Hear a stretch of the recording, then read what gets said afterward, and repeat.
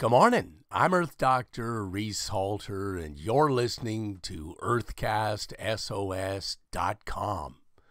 The oceans are a crisscross minefield of 13 million miles of hooked fishing lines, slaying billions of sea creatures each year.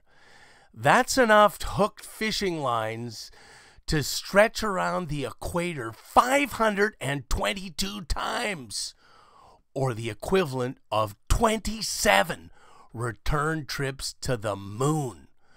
Those fishing lines are killing, scarring, and entangling marine masterpieces like albatross, sea turtles, and the doctors of the sea, sharks, dolphins, and whales.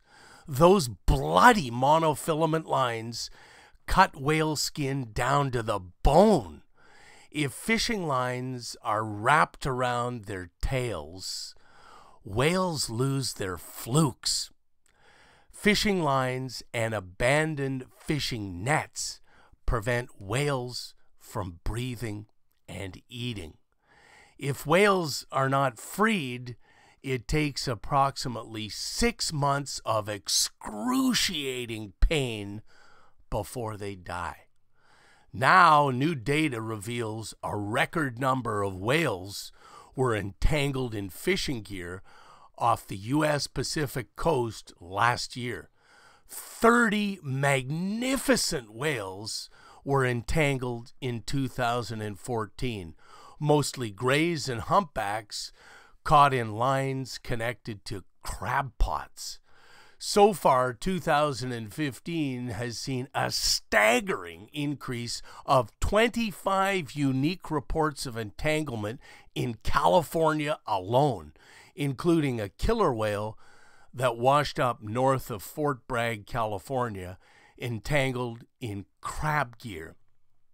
These numbers are at least three times larger than the average of the last decade of eight entanglements per year, and at least eight times larger than the previous decade at three entanglements per year.